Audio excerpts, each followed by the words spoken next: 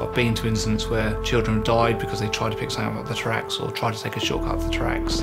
I've been to incidents where people have been badly hurt. A lot of people say, well, the power only comes on as the train comes through. That's not right, it's on all the time. And if you touch that electric rail, most people die. And if you don't, you get a lot of serious injuries and burns and operations for the rest of your life. Children, young people think they're invincible. Unfortunately, that's not true. Most of the times, the bodies won't be intact, from some amputations to fully um, disrupted. I don't want to be telling your family that you've been killed on the railway. Has a huge impact on train drivers. Some have been absolutely distraught, and the thief in the cab is quite clear for them.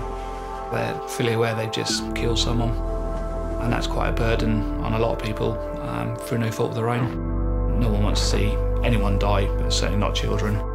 The only safe thing is don't go on the tracks, it's not worth it. It's not as important as your life.